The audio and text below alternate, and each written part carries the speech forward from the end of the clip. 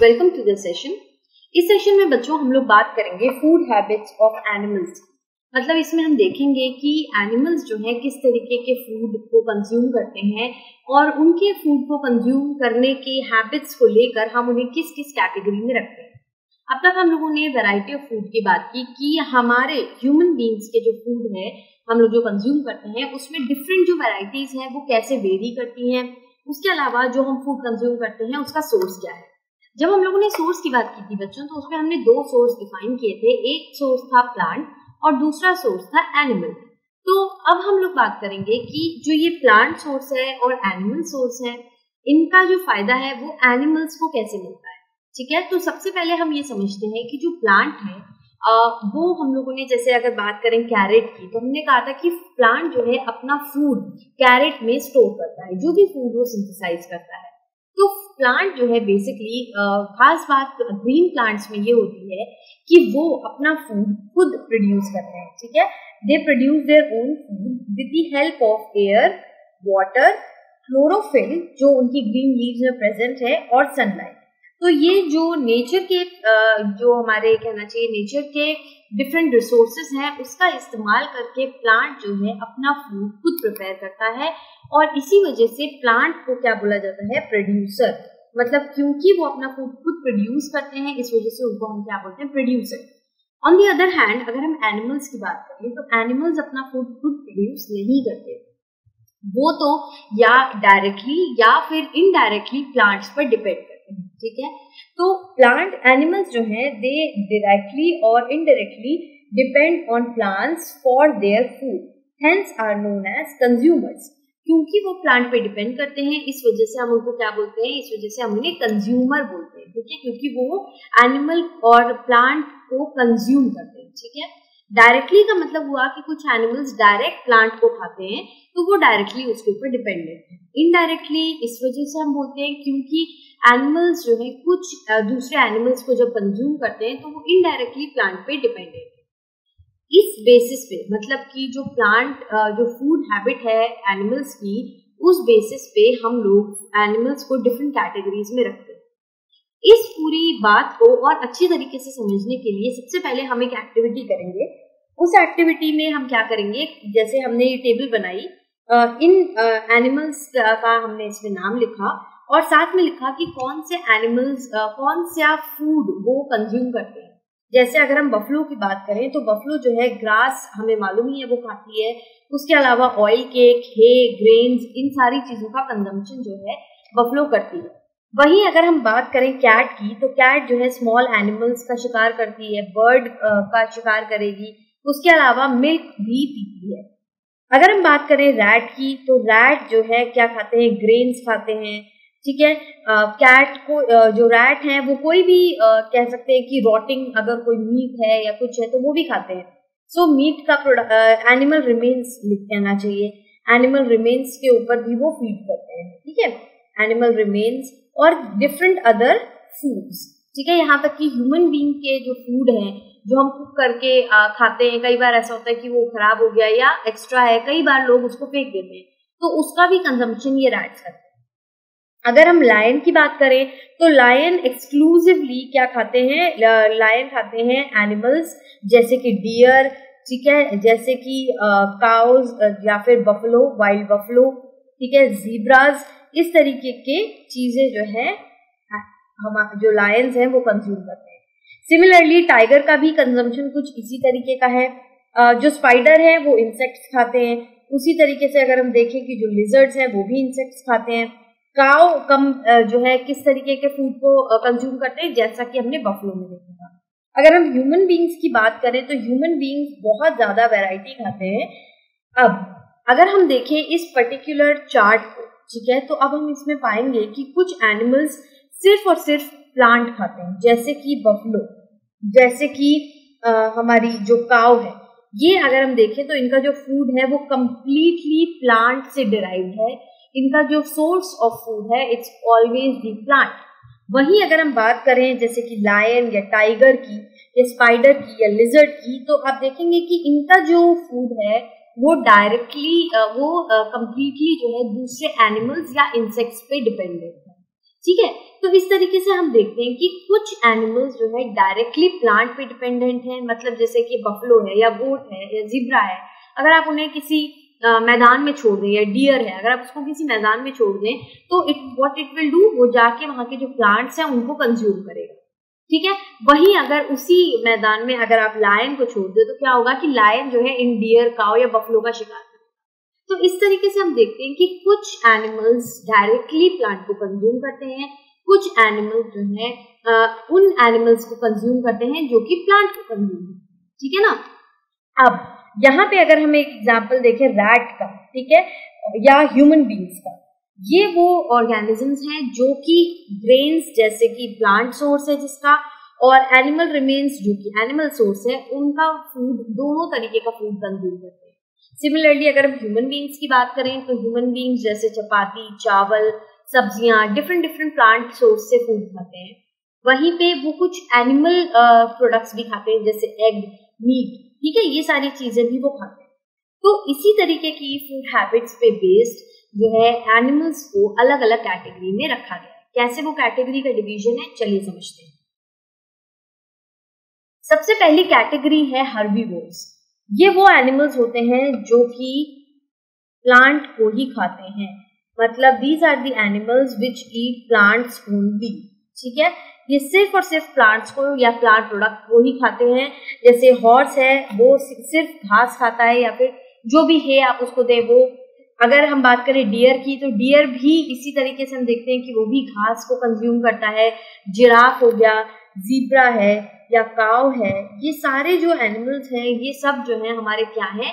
सिर्फ़ और सिर्फ़ प्लांट को कंज्यूम करते हैं। इस वजह से इन एनिमल्स को हम लोग क्या कहते हैं? हर्बीवोर्स ठीक है?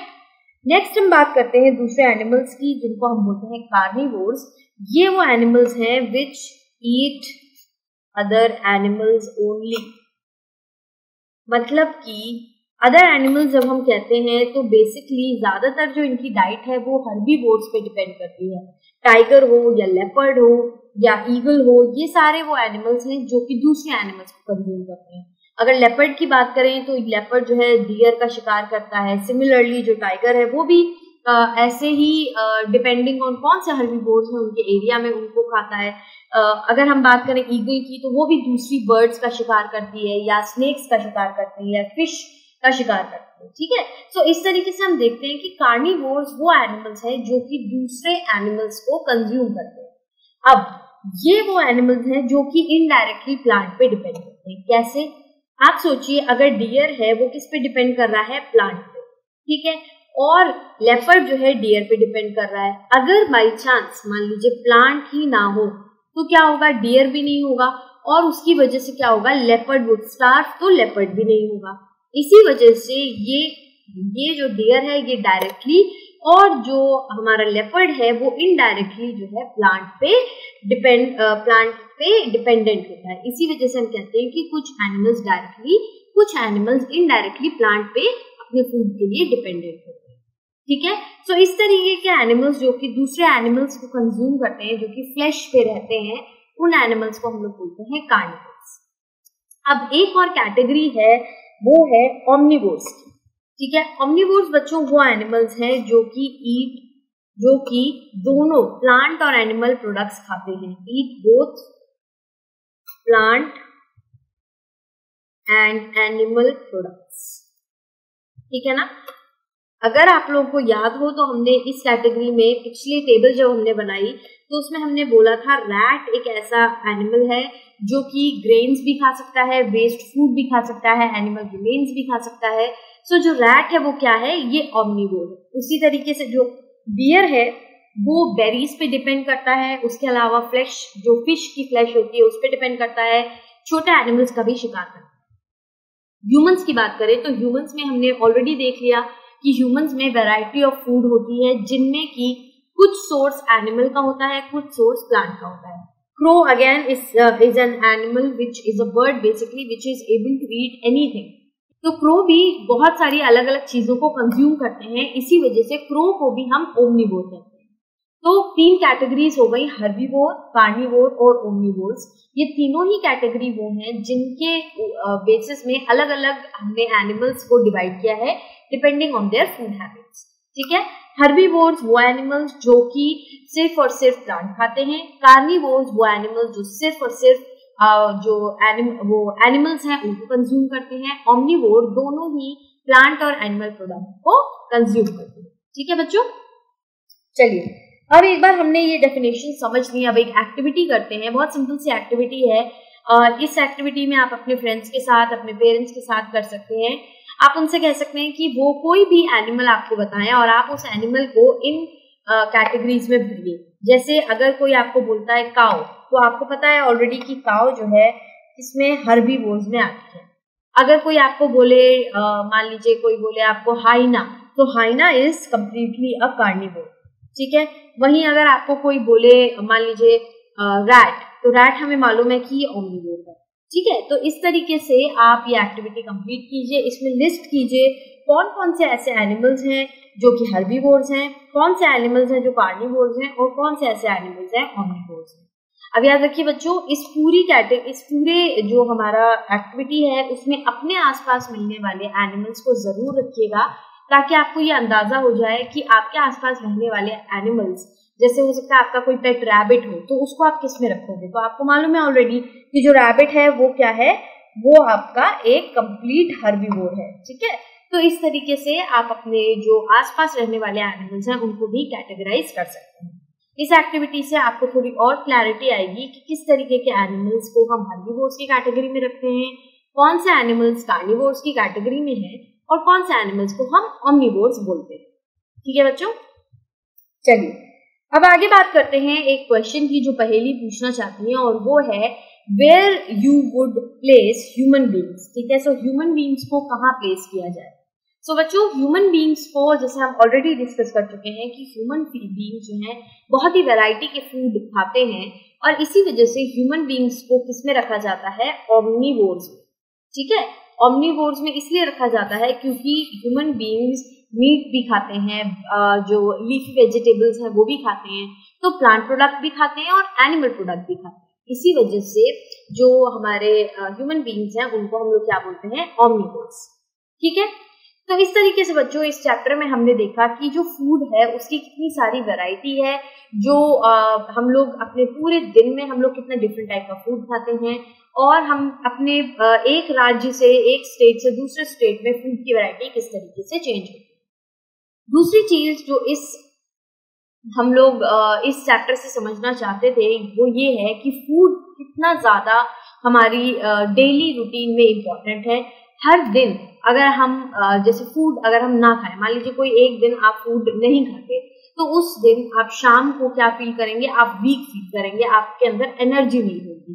क्योंकि जो फ़ूड है बच्चों, वो आपको हर दिन के डे टू डे फ़ंक्शन करने के लिए एनर्जी देता है।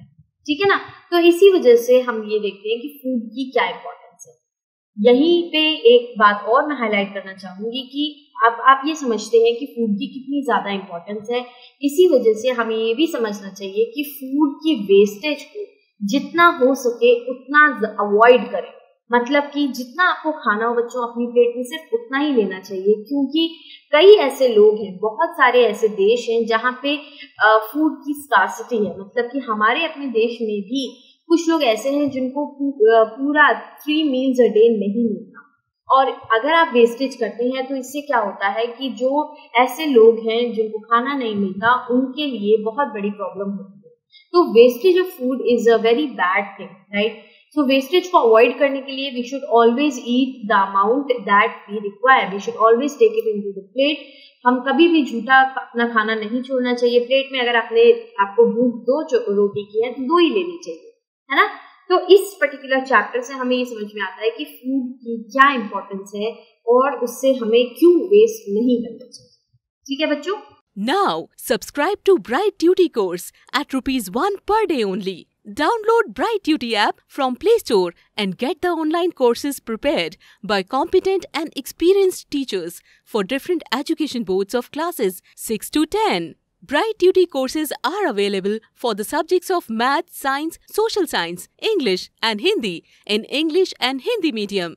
Bright Duty follows three-step approach that is learning, assessment and exam preparation. In learning, topic-wise video lectures with explanation of concepts and discussion of textbook examples and questions are available with the solutions. In assessment, topic-wise online MCQ test, practice assignments and chapter-wise question bank are available with the solutions. In exam preparation, previous year's question papers, sample papers and model test papers are available with the solutions. Sign up today on Bright and avail your courses at affordable prices.